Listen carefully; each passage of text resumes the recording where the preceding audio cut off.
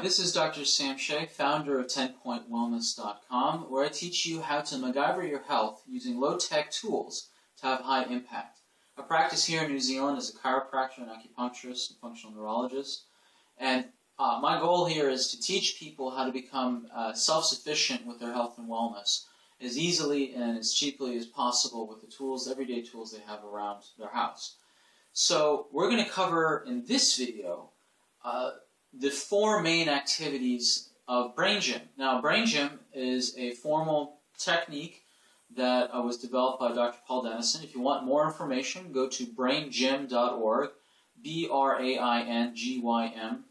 Brain is in brain, gym is in going to the gym, so braingym.org. And this is how I got started in my trajectory on health and wellness, where I started seeing a brain gym consultant when I was 17. Uh, her name was Eliza Bergeson, and she, she radically transformed my life and put it in a much healthier direction to where I was going. And uh, then inspired me so much that I actually went on to become a brain gym consultant myself when I was about 20. Uh, probably one of the youngest in the States when I was certified. Uh, since then, I've, I've kind of continued on my education, became a chiropractor, acupuncturist, and went into neurology. But my, my roots began in brain gym. And so uh, I want to share with you the four main movements of brain gym that start a process and also help with transitions for your brain um, between activities. So the very first activity um, is drinking water. Uh, this is they call this very positive in the brain gym world drinking water is part of their positive category. And then the second activity is called brain buttons, which is part of their um, active uh, category. And the way to do brain buttons, uh, brain gym world, to wake up the brain, is put one hand, one palm over the belly button, or even just below it, but just on the belly button. The other hand, you find your collarbone, which is the long bones here that uh, are where the neck begins, and then you drop underneath them and then bring your fingers in till they stop at the two kind of grooves here. And this is your sternum. This is where your ribs attach. You go down from the collarbone in till you hit the notches where the rib is below you and the collarbone is above you. And you rub and dig in there. It's probably pretty sore on most of you. And uh, that's okay, it'll go in time and you just rub on this, and there, there's a lot of reasons that this is uh, done, uh, and uh, one is that it's on uh, kidney 27, which is uh, the end of the kidney channel in Chinese medicine. Um, just basically helps wake up your brain. Um, yeah, so this is this brain buttons can be done basically anywhere. Now the third activity is called cross crawl. Now the cross crawl is basically connecting any part of your right arm with any part of your left leg, and vice versa.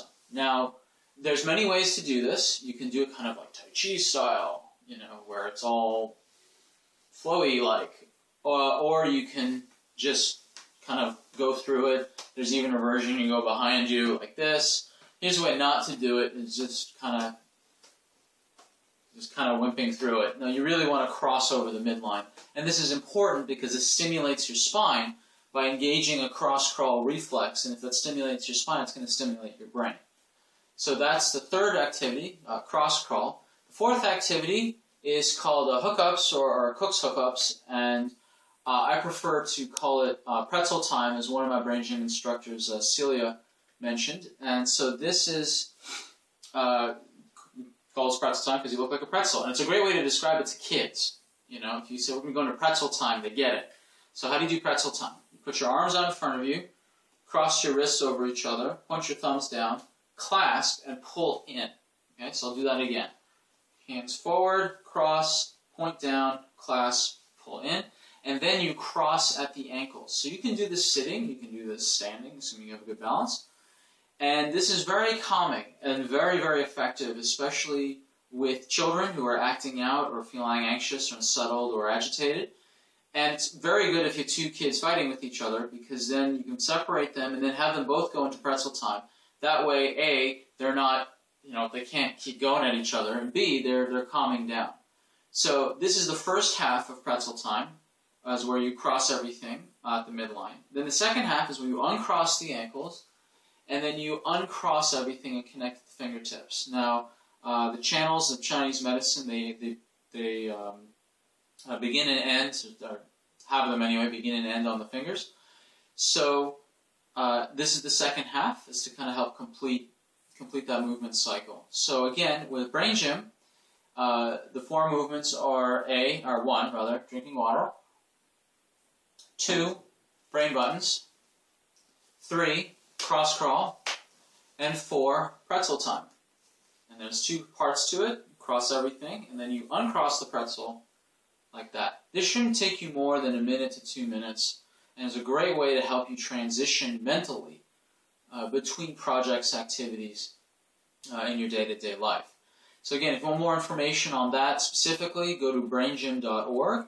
Uh, my website, 10pointwellness.com, has more tips on how to uh, MacGyver your health, not just on brain, but the other nine categories of wellness.